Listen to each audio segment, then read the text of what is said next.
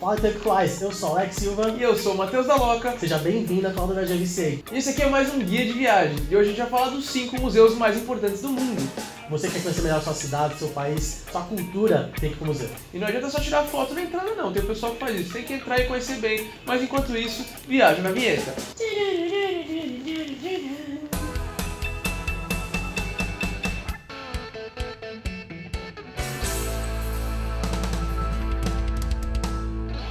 Para começar essa lista, não tinha como ser por outro museu. A gente resolveu falar sobre o Louvre, um dos museus mais importantes do mundo, pelo menos o mais famoso deles. Ele é tão legal, ele é tão foda que a parte foda dele começa de fora. Ele do lado de fora é muito bonito, aquela pirâmide toda engraçada, sabe? Não precisa nem entrar pra apreciar um pouco dele. É, ele fica em Paris, que já é quase que um museu a céu aberto, o lugar é maravilhoso, então tem muita gente que vai lá e acaba não entrando no Louvre, que é uma cagada, cara. Você tá por lá, aproveita para entrar nesse museu. Tem uma das obras de arte mais famosas do mundo, que é a Mona Lisa, entre outras. E o mais engraçado é que a Mona Lisa, cara, é que você não imagina, mas é um quadro muito pequenininho. Muito. Você vê lá um quadrinho, você vai tirar uma foto, primeiro que é aquela muvuca pra, mundo pra chegar um monte de né, turista tem que tirar com o celular. Deve ser o quadro mais fotografado do mundo, então é, é um museu bem cheio e tal, mas vale super a pena, vai ter toda a história lá, muita coisa legal.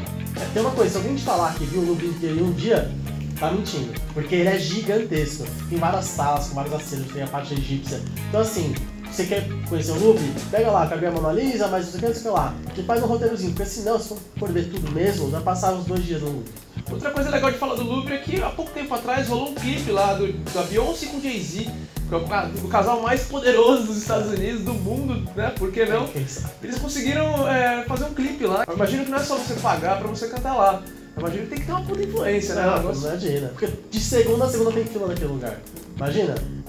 Agora a gente vai falar do Museu da História Natural, que fica lá em Washington, nos Estados Unidos. Cara, é aquele museu muito famoso que tem toda aquela história americana, não só americana como do mundo, e também tem uma versão em Nova York, que é bem famosa também. Como nós falamos do filme, né? Teve aquele filme lá do Uma Noite no Museu. E aí, Ben Stiller, né? É, clássico, né? do- Dos, dos filmes que tem que assistir.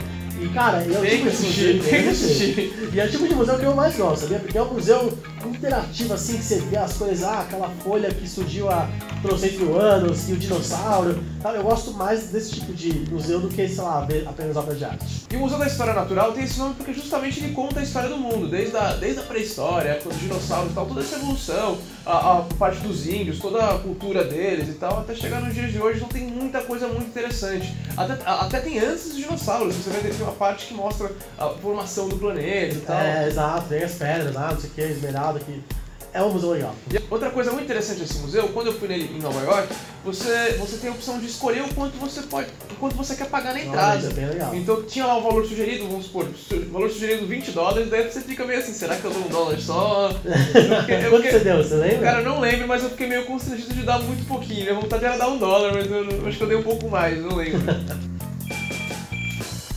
Continua? É, continua. Pode mais subir. Ah, ele, ele entra e termina rapidinho, né? E o próximo museu é o Museu Nacional da China. É o você tá entendendo. Cara, esse museu, foi- eu acho que é o único aqui que nem eu nem você foi. A gente Exato. nunca- eu nunca fui pra Ásia, cara. Mas, ainda não, ainda, Ainda não. não? Talvez quando você esteja vendo esse vídeo eu já esteja lá. Não, Mas até então. Mas esse museu é bem interessante e o, o mais interessante é que ele é o mais visitado dessa lista, o que mais teve turistas. Mas por que será, né? um décimo do país já enche, já, já passou todos os outros. Tem muito chinês, cara. Mas ó, muita gente gosta dessa cultura, né? Tipo, oriental, tipo, de como surgiu ali as coisas, né? Porque é uma cultura muito específica. Então, se o cara se estiver na China e quiser entender melhor ainda como é que funciona essa cultura, eu acho que vale a pena. E tem várias peças de artesanato, de bronze, vários metais, ilustrações, então vale super a pena conhecer um pouco desse museu. E o próximo museu é o British Museum. Esse é um museu muito, muito especial que fica em Londres, que tem va- um acervo assim gigante com várias coisas fodas. Por exemplo, a pedra Rosetta, que foi lá usada para decifrar os, os hieroglifos lá, egípcios e tal. Animal. E o legal desse museu é que é o primeiro museu gratuito do mundo, o primeiro museu público gratuito. Hoje em dia já tem vários, mas foi o primeiro que abriu essa porta aí pra dar essa- esse entretenimento pro pessoal. Então, e Londres é famoso justamente por isso, porque tem muito museu lá, e além de sua importância no, no British, que é um museu mais clássico, com várias coisas de vários lugares do mundo, como África, Ásia e, claro, Inglaterra, Lá também tem o Tate. O Tate Modern é um museu bem específico porque ele olha muito para arte moderna. No menor país do mundo, também tem coisa importante. Os museus do Vaticano é um complexo de vários museus ali com a Capela Sistina, o museu, a, a Capela de, de São Pedro, que assim, tem várias obras importantes, principalmente de Michelangelo.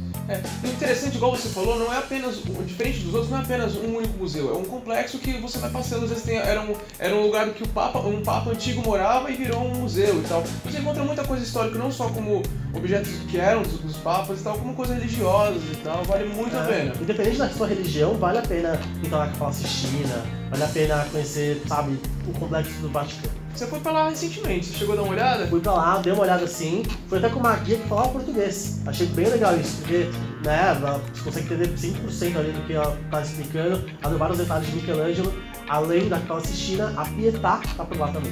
Beleza, ficamos por aqui, espero que vocês tenham gostado dessa lista. Curta e compartilha aí que ajuda a gente pra caramba. Comenta aqui qual museu que você mais gosta do mundo, que você já foi. Se quiser comentar pra gente algum outro museu, aproveita os comentários aí pra dar uma falada pra gente. E se viaja pra uma dessas cidades, aproveita e visita, né? Não fica Exato, é. panguando aí, né, pô? Valeu, galera! Forte abraço, falou!